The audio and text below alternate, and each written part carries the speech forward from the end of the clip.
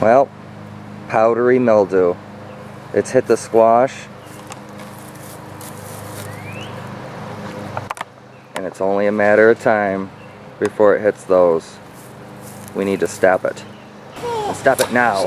How you guys doing? So the powdery mildew has hit and it's hit because it's been super duper rainy and super duper windy and really really humid lately.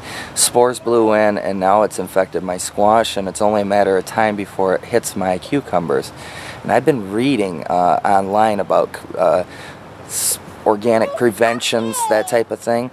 And there's a fascinating studies uh, that's been out lately that says that you can mix up some milk, uh, one part milk to nine parts water, and spray the leaves. And there's something in the proteins of the milk that prevents uh, the that's just inhospitable for powdery mildew. So what I have there is I have those mixed up in those little containers, and they still think they're spraying aphids. but it's completely safe. It's it's natural. Um, I also did put a little bit of baking soda and maybe like a half a teaspoon, and now they are spraying. Man, they're going to town on these things. What they don't know is, is I'm going to pick the infested leaves off, and then we're going to respray them. Let's get aphids. Let's get aphids. Let's get aphids. When is that ready? Pump it. Okay.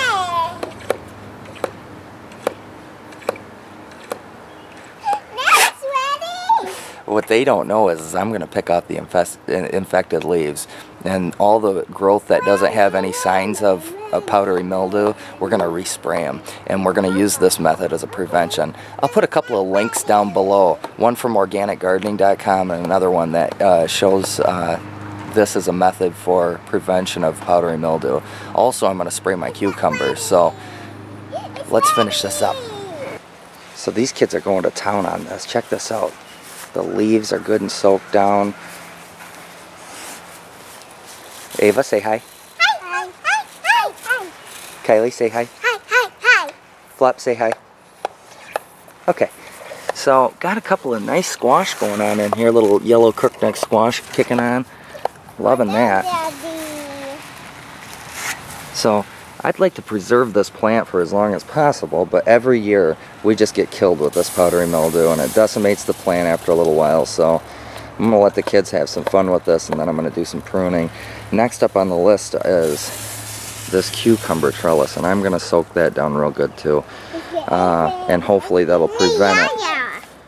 Now this one is really resistant. That's an Asian dragon and it's supposed to be really resistant to powdery mildew and things of that nature. But I'm going to spray them anyway. So.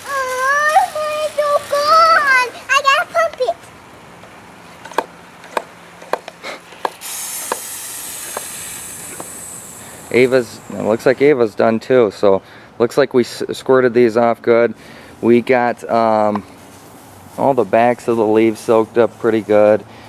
So hopefully um, that'll keep that powdery mildew at bay. Thank you, lady. And we'll see if this works. Uh, that's okay. So,